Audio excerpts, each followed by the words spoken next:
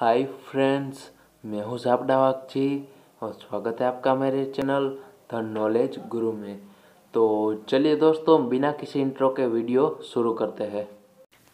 तो दोस्तों, स्वागत है आपका हमारे नए series three word to thirty word series तो चलिए दोस्तों, ये ये वीडियो हमारा पार्ट वन है।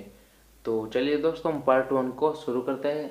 तो दोस्तों, आज का हमारा वर्ड है cracy C R A C Y cracy का मतलब होता है शासन करता शासन करना।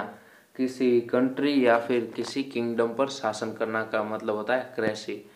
तो यहाँ पे पहला वर्ड है मीडिया क्रेसी मीडिया क्रेसी का मतलब होता है कोई मीडिया का इतना डोमिनेंस हो जाना कि वो खुद कंट्री पे राज करने लगे, शासन करने लगे तो उसे हम बोलेंगे मीडिया क्रेसी दूसरा वर्ड है क्लेप्टोक्रेसी क्लेप्टो का मतलब होता है बीमारी या फिर चोर। यहाँ पे चोरों का चोरों का शासन। बीमारी यानी कि चोरी करने की बीमारी हो जाना, चोरी करने की लत पड़ जाना, उसे हम कहेंगे क्लेप्टोक्रेसी आगे बढ़ते हैं कॉर्पो कॉर्पोक्रेसी कॉर्पोक्रेसी यानी कि बड़े बड़े कॉरपोरेशन मिल के कंट्री पर शासन करे।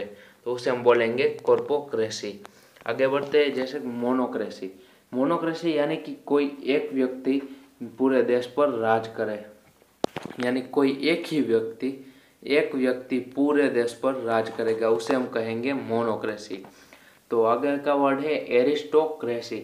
एरिस्टोक्रेसी का मतलब होता है सज्जनों का शासन। ये जैसे कि कोई पूरा कोई सज्जन हो, वो शासन करे। जैसे कि अभी चल रहा है इंग्लैंड में तो उसका, वो होता है एरिस्टोक्रेसी। तो चलिए दोस्तों, हम अब आगे बढ़ते हैं। तो अब आता है ऑटोक्रेसी ऑटोक्रेक आपने सुना होगा, वो ऐसे ही ऑटोक्रेसी यानी कि खुद का शासन। जैसे ऑटोक्रेक होता है, वैसे ही खुद का शासन। ऑटोक्रेसी उसे हम कहेंगे खुद का शासन।